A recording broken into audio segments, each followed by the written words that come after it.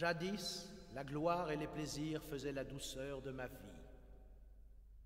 Un sort cruel me l'a ravi, abandonnons ces souvenirs. Qu'un beau trépas digne de moi dise encore après moi ma gloire, et du courage d'un grand roi célèbre à jamais la mémoire. À jamais la mémoire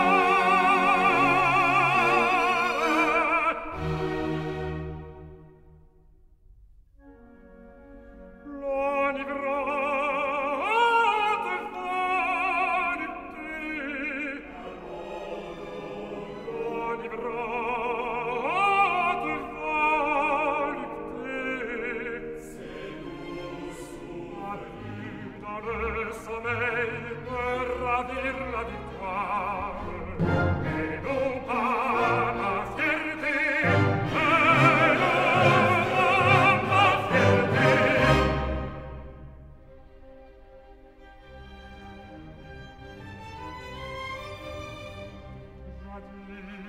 la gloire